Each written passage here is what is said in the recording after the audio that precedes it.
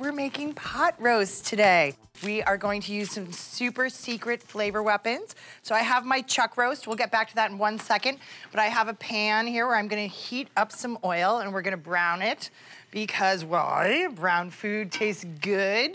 Ah, excellent, that's what we're doing. So, I'm taking my pot roast. I'm actually tying this guy up because I'm going to braise this piece of meat whole, low and slow in liquid. That's what braising is. This is not a like, let me think of uh, what to make for dinner. I have 45 minutes and let me whip out a pot roast. So, but I'm tying this guy up so that I can actually slice it later on. It keeps my piece of meat all tight and firm. Otherwise, it would just kind of fall all apart. That's what braising does. So we just go over my hand like this. We go underneath a little bit. Here we go. Oh, beautiful.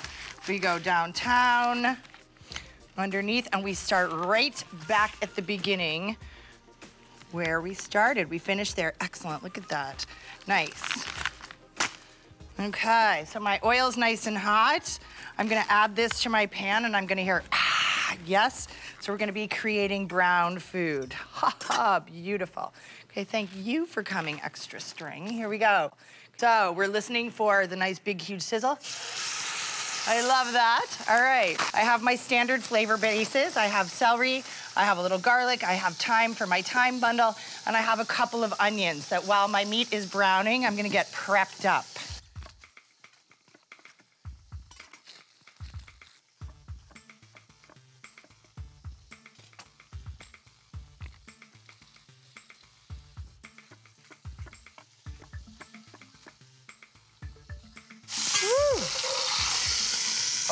Beautiful brown food. Hello, gorgeous.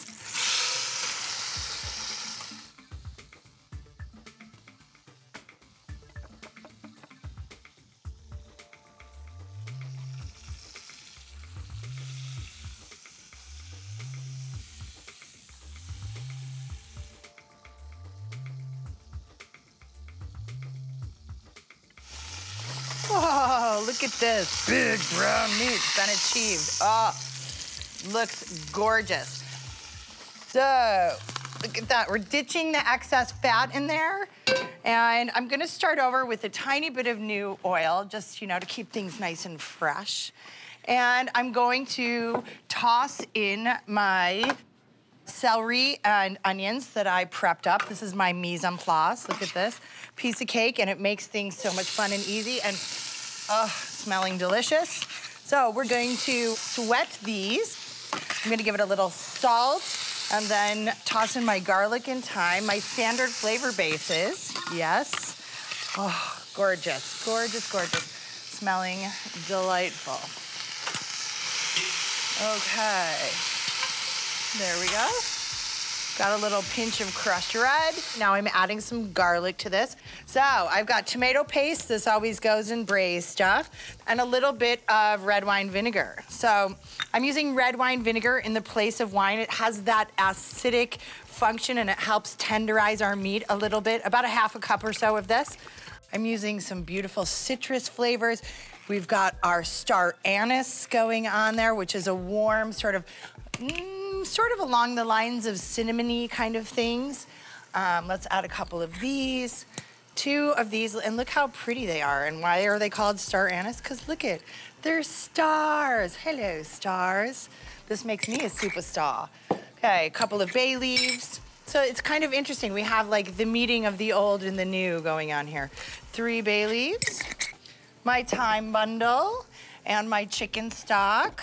So I'm gonna start with about two cups of this guy and put that in. Oh, beautiful flavors happening. I'm gonna bring this to a boil and then I'm gonna put my meat back in here and then we're gonna toss this guy right in the oven. So just, we're gonna get everyone all nice and hot for a second.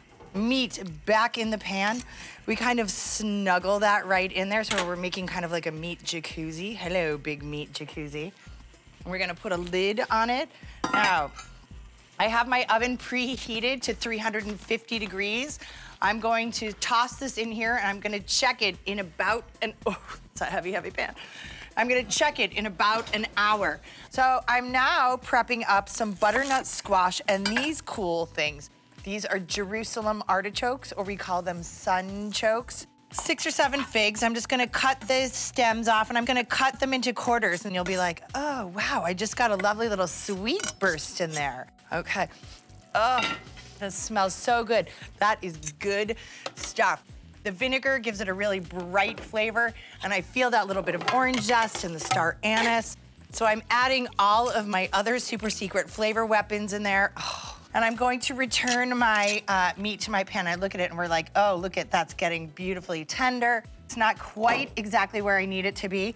So I'm going to return this to the oven for 45 more minutes. So I'm gonna roast it, or I'm gonna braise this for 30 minutes with the lid on, and then the last 15 minutes, take the lid off so the flavors really have a chance to to concentrate. And so when we get to dinner, everything will be like, oh, big, huge, delicious, really excellent flavors. So look at this gorgeousness. So I'm just gonna give this an untie. When we tie meat up, we have to remember to untie it always so we don't floss and eat at the same time.